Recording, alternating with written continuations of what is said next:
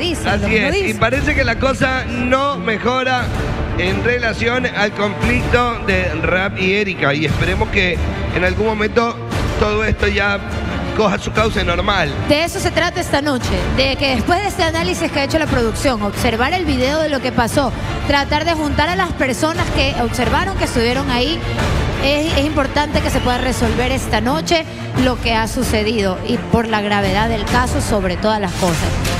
Se va a tomar después de esto la decisión, pero se va a escuchar a los implicados. Tenemos un video, ¿verdad, producción? Lo vamos a poner en este momento. Por favor, producción. ya viene a velocidad, se resbala y cae. Lo que yo hice fue quitarle mis discos y me dice, estúpida, dame mi disco. Eso dijiste. Eres una mentirosa y te lo digo mirándote a, a los ojos. Mentirosa. De eso que dice Eric es algo muy, muy, muy exagerado. Hay, hay personas, te digo así, hay personas del equipo Vengador que estuvieron tan cerca, pero nunca van a decir algo de su compañera. Y es más, yo te digo, no voy a decir nombres ni nada. Yo me di la vuelta y le dije, ¿ustedes escucharon que dijo Raab eso? Y ellos dijeron no. No, yo creo que estuve cerca, eh, estuvo un camarógrafo cerca que también lo va a poder decir. Larry llegó en su momento, se metió en medio, también lo puede decir. Yo creo que tú vayas y le preguntes a Larry que hay personas, como dijo este Toño, no lo quieren decir por compromiso porque son de su equipo. Sí escuché unos insultos por ahí que a mí en lo personal yo dije, se están pasando mano. Y nunca lo mencionó ayer. ¿Por qué hoy saca eso? Ese, ese es mi reclamo y mi malestar. Me pasó lo mismo en su momento. Cuando yo jugaba en la segunda, tercera temporada, tuve un problema con ella y lo mismo, el mismo recurso lo usó. Yo no sé llamar por qué se mete. Siempre se mete buscando cámara, yo no sé. Pero yo lo que estoy haciendo es defenderme yo misma. Defenderme. Porque créeme, si no se meten conmigo, si a mí me faltan el respeto, yo jamás voy a ser loca. Yo a ti solo te dije un solo insulto, pero a mí me dijo dos. Y yo se lo dije a mi capitán. Yo le dije, yo no voy a permitir que me falten el respeto de esa forma. Fue lo que yo Ricardo lo comentó, dice, desde que el momento en que sale de la ahí, él le comentó. Desde que salí, yo le dije los dos insultos a él. Cuando Erika salió, Erika sí me dijo. ¿Puedes creer que me dijo? Lo que le dijo Raab. Yo no puedo certificar que lo dijo, porque yo no lo escuché. Pero sí fue lo que me dijo al momento de ella salir, que estaba bien enojada.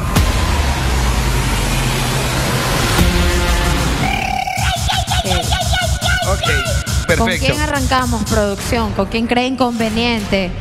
Que em, yo creo que podemos hablar con los implicados, diría yo. Porque ya las hemos escuchado y no sería bueno que se alargue más esta discusión, sino que se pueda solucionar. Sí, correcto. Erika. Eh, bueno, el, el único tema con, el- con eh, la situación de Erika es que nadie escuchó directamente de rap decir estas palabras. ¿Sí? Ok, eh, ¿quieres hablar? Ah, bueno. Eh, ayer el camarógrafo, el camarógrafo que estuvo presente di- dijo que él quería hablar sobre esto porque él escuchó, él fue la, es la única persona de todas, de Vengadores o Fantásticos, porque dicen que Jimar no, no vale porque es de mi equipo. Toño no vale porque es mi esposo.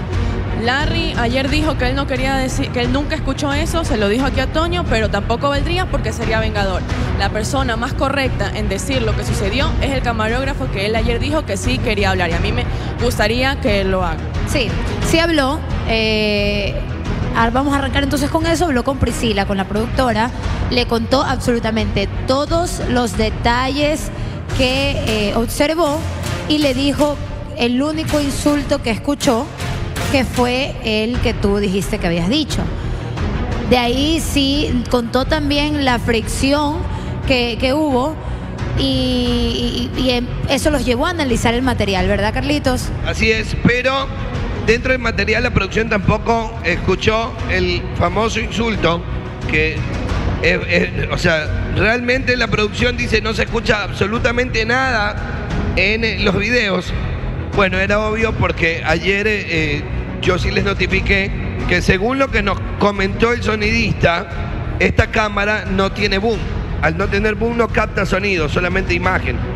Pero bueno, en todo caso yo solo puedo decirles que este desagradable incidente no se puede repetir, que si tienen algún tipo de, que si tienen algún tipo de queja con respecto a algo similar a esto, lo arreglen con producción, por respeto al público, no podemos tocar estos temas nunca más en pantalla, porque el El público, público lo se pide merece también. respeto. No, y el público, la mayoría de los mensajes que leí era eso, que ese tipo de temas se deberían arreglar tras cámaras con las Es personas lo que más puedan. lógico.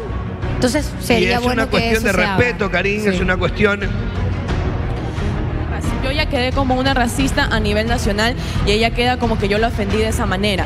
A, no- a mí no me interesa quedar bien, quedar lo que sea, porque las dos nos ofendimos. Ella levantándome la mano y yo diciéndole lo que le dije. Las dos nos ofendimos. Eso es un tema aparte, pero ya mentir y decir algo que no fue cierto, eso es otro tema. Se meten hasta con cosas que no son y Claro. eso a mí sí me molesta y me indigna aún. Escúchame lo que te voy a decir.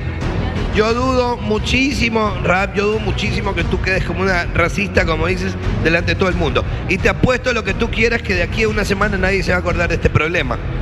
También, también la situación con Erika y el malestar que ella puede expresarlo, yo estoy de acuerdo con que cualquiera de nosotros expresemos malestar que sintamos con nuestra producción, con nuestra producción, pero no ese tipo de conflictos al aire. Ahora, si te molesta que pasó algo en la competencia, si alguien te metió el pie, si tú crees que alguien hizo trampa, esos son los temas que se deben tocar aquí.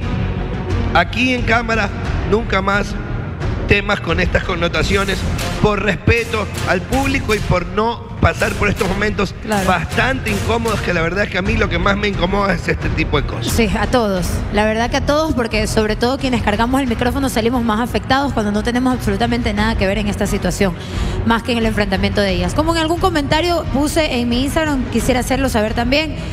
eh, cuando uno está con mucho coraje, con mucha ira, puede decir cualquier error y puede escuchar cualquier error y cualquier cosa también.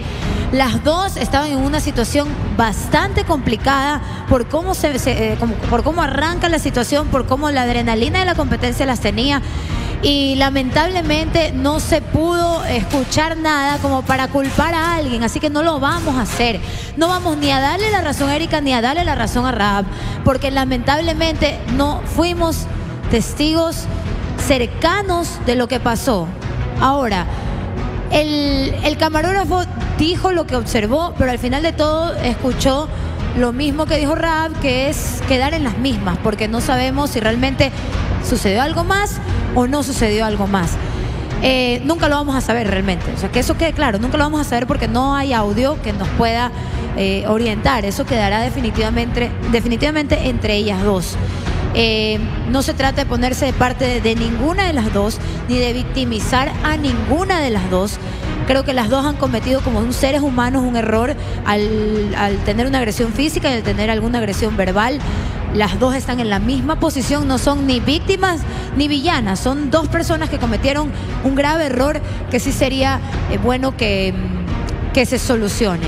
Siguen ambas indignadas, pero no sé si los chicos que estuvieron ahí quisieran decir algo. Por ejemplo, el Larry o Ricardo. Ricardo lo escuchamos, pero eh, Larry, Gimar, Ricardo, Gimar que también estuvo cerca.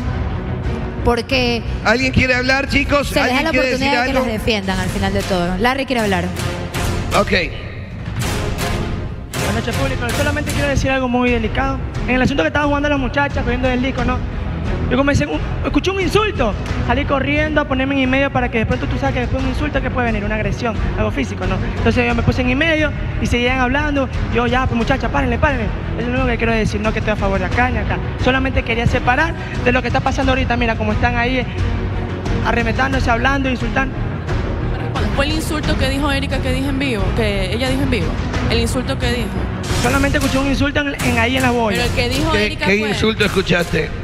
Insulto muy fuerte. y- Dímelo. Dime de oreja. Ya, ok. No es eh, el insulto con connotación racial que se había dicho. Es otro, ¿verdad? Ese yo no escuché, solamente escuché ese insulto muy fuerte, entonces me puse en y medio, nada más. Ya, ok. Chicos, por favor. Imar, ¿quiere decir algo? Algo que agregar, igual algo? Ricardo tiene la misma posibilidad de hacerlo. Mira, yo el primer día que hubo el problema, eh, simplemente ocupé mi lugar. Es un problema que pasó entre Raap y Erika. y no dije nada. El día de ayer me metí a opinar fue porque Erika dijo algo que no, no lo dijo en su momento, que ella se acercó a la producción y si lo hubiera molestado, ella se lo hubiera comentado en ese momento cuando llegó al switcher y no lo hizo. Entonces, si tú crees que te hubiera, se hubiera indignado tanto un insulto, se lo hubiera hecho a la producción y se hubiera solucionado ese tema.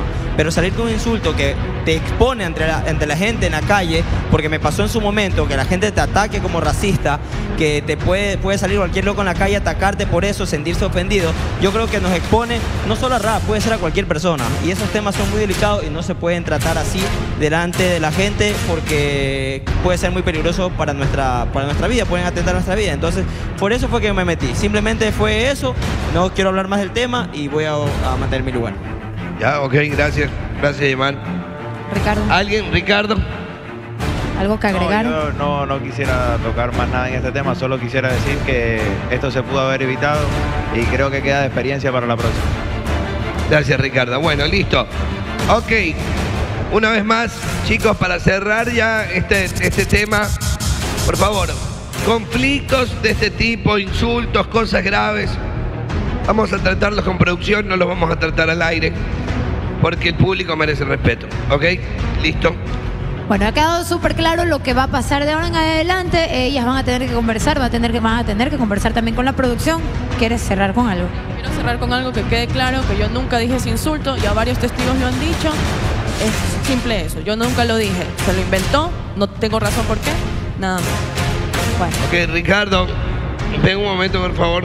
Producción me está pidiendo que te acerques.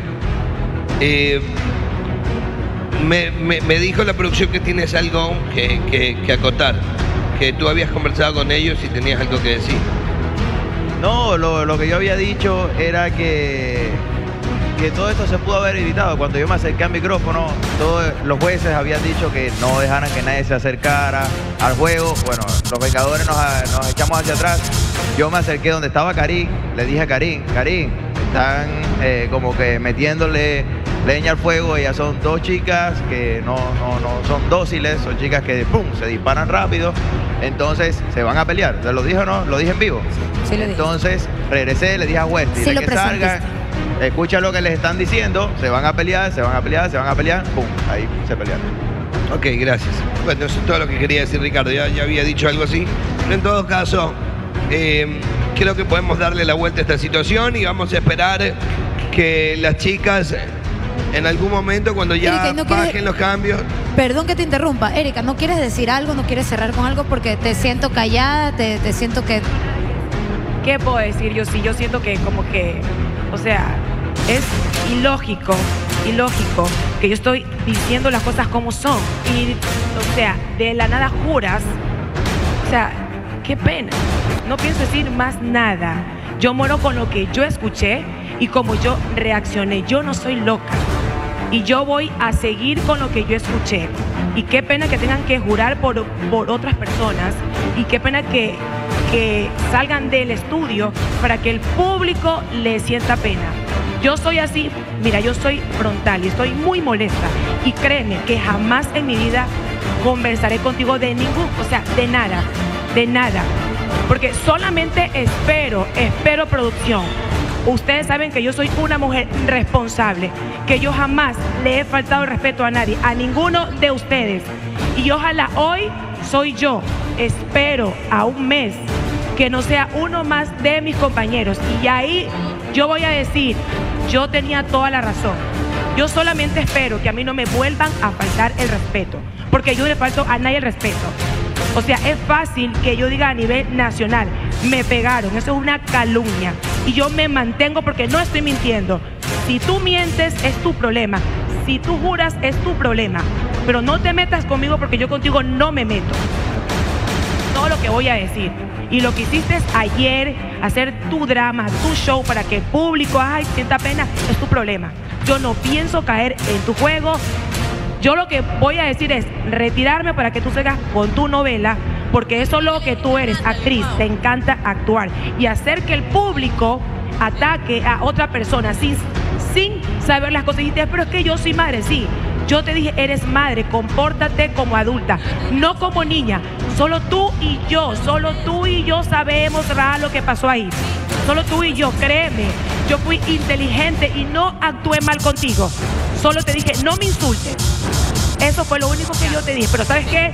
Esto es tuyo, es tu show. Mira, te digo ante Dios, esto es tuyo. Te lo ganaste. Espero que no lo hagas más con nadie. Sí, Gracias, eso, eso espero. sí. Te agradezco, ya. Lo- las mismas palabras que estás diciendo ahorita ya te, ya te las escuché cuando se las dijiste un día a Natalie. Ya esto es papel, es disco repetido. Simplemente voy a decir, tú fuiste la que inventaste el rumor y lo que estás diciendo es porque te sientes acorralada, porque hay testigos de que nunca escucharon, los que nunca escucharon el insulto. Todos. El camarógrafo, ¿para qué se va a parcializar a mi lado? Jamás lo va a hacer. El problema tuyo es que estás acorralada, no sabes por dónde agarrarte, no sabes por dónde irte, que hiciste e inventaste semejante irresponsabilidad. Pensé que como eres una mujer mayor, ya pensabas mejor y ibas a actuar con responsabilidad, pero no lo hiciste. ¿A Como tú llamas mayor? dices- Aquí todos como somos tú dices que yo soy madre y tengo que comportarme como tal, como tú eres. eres una mujer mayor, tú compar- comportarte como tal. o sea, Así, yo también te lo digo así de corazón y te pido que esta pelea, por favor, no la hagas con nadie más, como lo has hecho con Dominic Holguín, con Jimar, con Natalie, con Jocelyn y con Ana Paula y con ¿Y muchísimos tú? más. Tú vienes Yo sí, de otro canal pero- haciendo drama, ¿Cuál canal? haciendo show, ¿Cuál canal? este, inventando cosas. ¿Cuál No, canal mamita, que inventas? Tanto como tú, Dímelo, como yo, somos personas que no nos dejamos de nadie. Ya. Aquí todos somos dímelo, adultos. Escúchame que yo te escuché. no, no, no he terminado de hablar. Ah, tengo que yo escuchar. Ella es la dueña del canal aquí. No, pero es dueña si- de las cámaras. Mamita, pero si tú te crees aquí la dueña del canal. Ayer hiciste show y hiciste te que todo el mundo salga contigo.